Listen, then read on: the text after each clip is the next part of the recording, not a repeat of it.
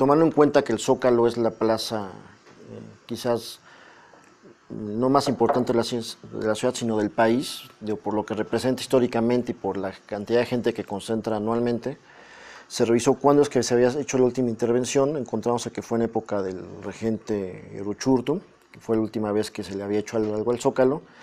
eh, y bueno, revisando el grado de deterioro que tenía eh, y la necesidad de, bueno, pues de tener una plaza digna que representara a nuestro país, dado la cantidad de turismo extranjero y, nacional que se, que se, presenta aquí, fue que se decidió, bueno, pues presentar a consideración del Instituto Nacional de Antropología e Historia eh, un proyecto de remodelación del Zócalo pues, que permitía precisamente la dignificación de este espacio. ¿qué, es lo que, ¿Qué es lo que propusimos? Bueno, pues básicamente dejar el mismo espacio abierto como se tenía, pero aprovechar, eh, por un lado, para ampliar la superficie, digamos, eh, caminable del Zócalo, de 20.000 llevarla a 22.500 metros cuadrados aproximadamente, ganándole un carril más de cada lado eh, a la plancha del Zócalo, aprovechar y remodelar todo el tema del drenaje, que estaba ya también dañado en, su mayoría, dejar sistemas de anclaje para que, dado que el Zócalo se ha convertido en un espacio de expresión eh, política, social, cultural, eh, pudiera tener instalaciones adecuadas para poder este, recibir cualquier tipo de exposición, eh, que tuviera su propio sistema de iluminación, que no solamente dependiera del alumbrado de las calles, sino que la plancha tuviera su propio alumbrado. Y bueno, y pensar en una superficie que nos asegura una vida útil de por lo menos otros 50, 60 años, eh, y que le diera una, sobre todo, eh, una imagen moderna a este espacio tan emblemático. ¿no? Eh, en la lógica también de empezar a peatonalizar lo que es el centro histórico y siguiendo con esta, pues esta labor que empezamos ya hace algunos años de peatonalizar y que las muestras son Francisco y Madero, 16 de septiembre, este, Moneda, empezar también a preparar el zócalo para esto a través de, la construcción de ocho pasos peatonales, ocho pasos seguros, que conecten, digamos que las zonas eh, más importantes alrededor del zócalo con la propia plancha. ¿Cuáles son? Bueno, pues el Palacio Nacional, la Catedral Metropolitana, 5 eh, de mayo, 16 de septiembre, eh, los propios edificios del Zócalo capitalino, desde luego continuar el corredor Francisco y Madero para que ingrese de manera directa con el Zócalo y de esta forma, bueno, pues asegurar eh, el libre acceso de las personas que vienen a pie al Zócalo eh, por encima de los propios vehículos.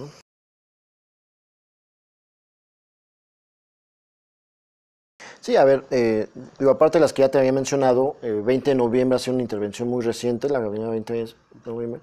en donde se le han ganado espacio a las banquetas precisamente para que el peatón pueda caminar de mejor manera. Eh, Pino Suárez es otro ejemplo muy claro en donde bueno, le hemos venido ganando espacio eh, al área peatonal de tal forma que la gente pueda caminar de mejor manera. Esto tomando en cuenta eh, que la mayor cantidad de gente que visita el centro histórico lo hace con transporte público, lo hace a pie,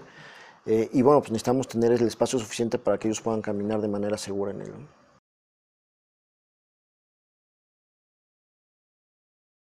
Recordemos primero que el circuito interior es una obra de los años 60, eh, empezó con esta idea de tener un circuito interior que pudiera distribuir mejor los viajes dentro de la ciudad, que conectara las principales arterias de la misma, eh, y fue una obra que se ha venido haciendo por etapas. Eh, cuando se arrancó se dejaron muchos, muchos tramos inconclusos, sobre todo pensando en tener un circuito interior sin semáforos. durante esta administración se decidió crear este proyecto de prestación de servicios, este PPS, a 12 años, el cual incluyera no solamente el mantenimiento integral del circuito interior, eh, consistente en el mantenimiento de la carpeta de rodamiento, eh, alumbrado, jardinerías, puentes peatonales, vehiculares, eh, todo el tema, por ejemplo, de pinturas, este, quitar grafitis, limpiar los bajo puentes, barrer el propio circuito interior, pero aprovechar y concluir seis puntos estratégicos para poder tener por lo menos 35 kilómetros de circuito interior libre de semáforos o de cruceros. Eh, ¿Cuáles son estas seis obras? Eh, dos puentes vehiculares en el cruce del eje 4 Sur, eh, Canal de Tezontle, una adecuación geométrica en Oriente 106, estas tres obras al oriente de la ciudad, del puente Molinos y Revolución que se había iniciado en la administración anterior, que se había hecho en la administración anterior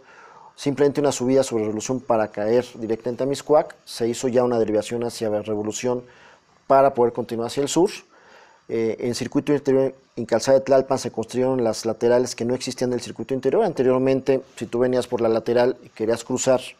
Calzada de Tlalpan, pues tenías que meterte a los carriles centrales para poder cruzar y volverte a salir la lateral. O bien, si venías por Calzada de Tlalpan y querías entrar al circuito interior, o viceversa, tenías que hacerlo a través de los eh, carriles centrales cortando la circulación o disminuyendo la velocidad pues, de los que venían de los del largo itinerario. Con la construcción de estas laterales logramos que todos estos movimientos se hicieran en los carriles laterales, dos por sentido, dejando los, tres, los seis carriles centrales, tres por sentido, para el largo itinerario. Eh, y finalmente, bueno, pues pensar en resolver el conflicto de este crucero de Miscuac Insurgentes, que es la sexta obra. es, yo, lo, yo he dicho que es la cereza del pastel, porque resolvemos eh, uno de los cruceros eh, más conflictivos, no solamente del circuito interior, sino de la ciudad, eh, con una afluencia de tránsito brutal, donde confluyen pues, dos avenidas importantísimas, como es el circuito interior, como es Insurgentes, pero además aprovechando para resolver muchos de los movimientos diferenciales, direccionales perdón, que, se daban en, que se daban en la zona, que se dan en la zona, y que nos ayudan a distribuir mejor el tránsito pues, de la colonia del Valle, Acacias, Crédito Constructor, Florida, eh, comunicar el circuito con Barranca del Muerto de Insurgentes, por ejemplo. Entonces, eh, ¿qué, eh, ¿qué, nos encontramos? A ver, ¿qué nos encontramos? Primero existía un proyecto originalmente que planteaba un puente vehicular muy largo, de manera elevada, para cruzar este, el circuito. dado que hay una restricción para poder cruzar insurgentes de manera elevada, se pensó después en un, en un túnel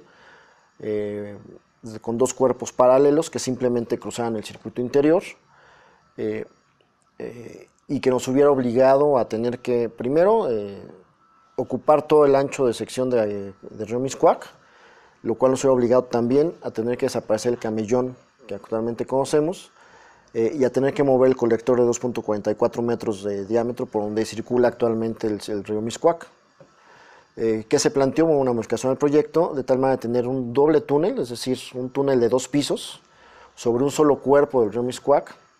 pero que además nos ayuda al mismo tiempo a resolver estos movimientos de que te platicaba. Es decir, si tú vienes por el circuito interior,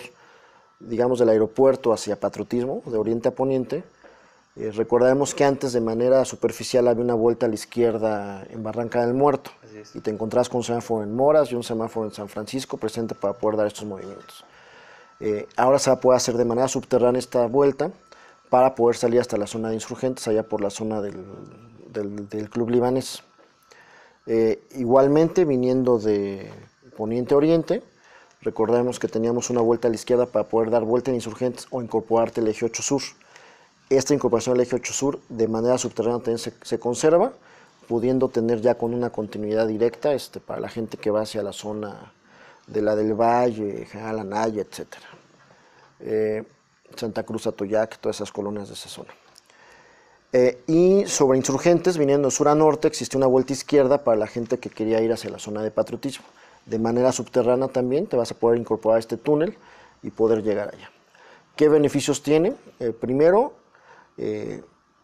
si antes teníamos siete fases de semáforo ahí en la zona, la vamos a reducir prácticamente a tres, lo cual es un beneficio importante en tiempo. Eh, calculamos que la reducción en tiempo de la gente que, que, que usaba este crucero, que sigue usando este crucero, pues disminuirá en más del 60%. Eh, digo, para dar,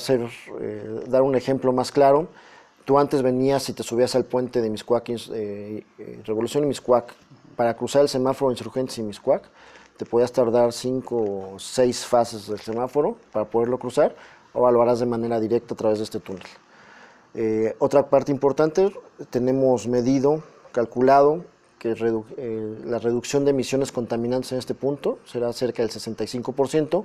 tanto emisiones por ruido como emisiones este, atmosféricas de gas, ¿no? de emisiones contaminantes. Entonces me parece que los beneficios son muy importantes, además de que bueno, le estamos ganando espacio, estamos recuperando espacio público para la zona. Por ejemplo, estamos construyendo un parque lineal sobre el río Miscuac de 900 metros lineales,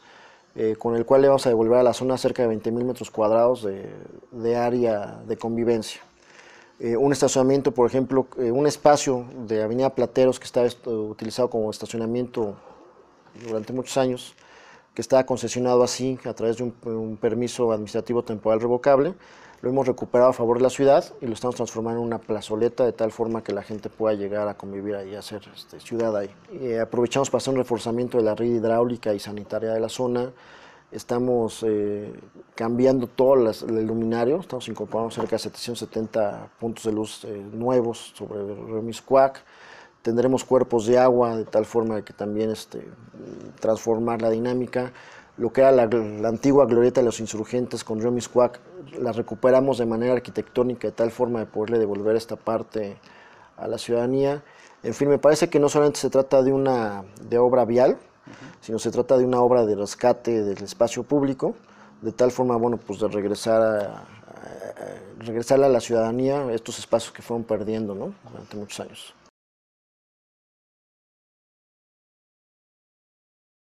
Mira, me parece que esta obra también marcó un parteaguas en las formas de hacer las obras en la ciudad, porque eh,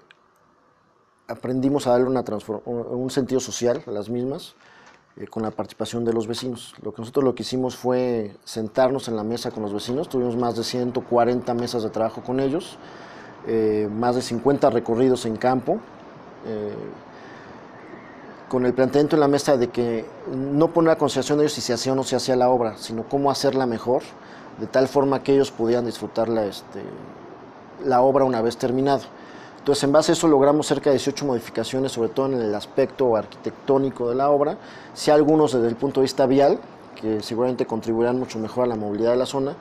pero me parece que este ejercicio que hicimos de sentarnos con los vecinos y escucharlos e incorporarlos a la toma de decisión respecto a cómo ir haciendo los proyectos, desde luego que fue lo que nos permitió sacar adelante este proyecto, el cual, bueno, pues estamos ya algunos días de que la ciudad lo pueda empezar a disfrutar. Pues, eh, secretario, te agradecemos mucho la entrevista para la revista City Manager. No, hombre, pues muchas gracias a ustedes. Muchas gracias.